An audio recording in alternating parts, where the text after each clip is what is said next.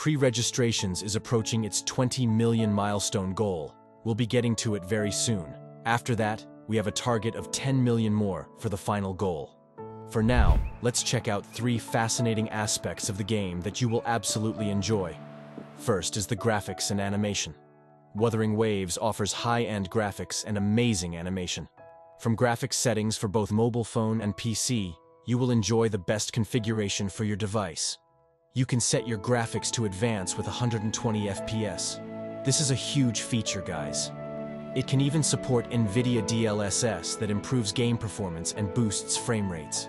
Medium, low, and very low settings are also available to use depending on your device capabilities.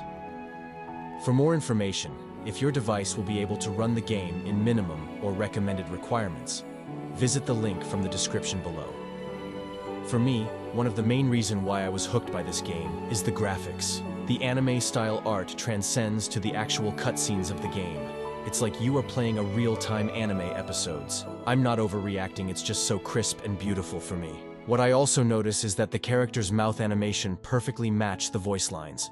The character's emotion are also on point. Although others says that the design and colors of the characters are boring, but for me I like it so far. I like the designs of characters as well. It just matches the current theme of the game, which is post-apocalyptic. Moreover, I love that even a 4-star character in the game has their own ultimate animation. How about you guys? Are you satisfied with overall graphics of the game? Comment down below. Next is the gacha system and rewards. With regards to the gacha, it's similar in Genshin with 50-50 mechanics in Character Banner. But in Wuthering Waves you only need max 80 pity to guarantee a 5-star. The best thing is that in Wuthering Waves, players have the 100% guaranteed limited 5-star in the weapon banner because the standard 5-star weapon has a separate banner already. We can't deny that this is one the best gacha offer out there. Then the excitement continues with previous leak regarding a standard 5-star selector character banner. Although it's still not yet official, community will love this if it's true because it saved the hassle of re-rolling accounts. With regards to rewards, I love that aside from union-level gift packs, we also have a free 5-star standard weapon selector upon reaching union level 45. Kuro is literally giving new players the best gacha offer they can give although we are not yet sure of how F2P friendly the game will be because we still need to see how much we can get from the explorations rewards and how often will they release events in the game every update. I am looking forward to it being great as well. The last one is the combat in Wuthering Waves.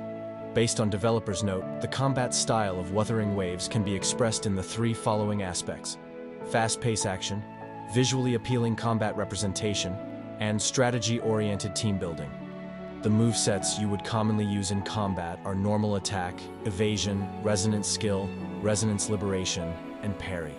Boss fights in this game is really satisfying. I really prefer a snappy and flashy animations type of combat than combat with big damage and nukes that can one-shot bosses. So this is certainly the most appealing part of the game for me.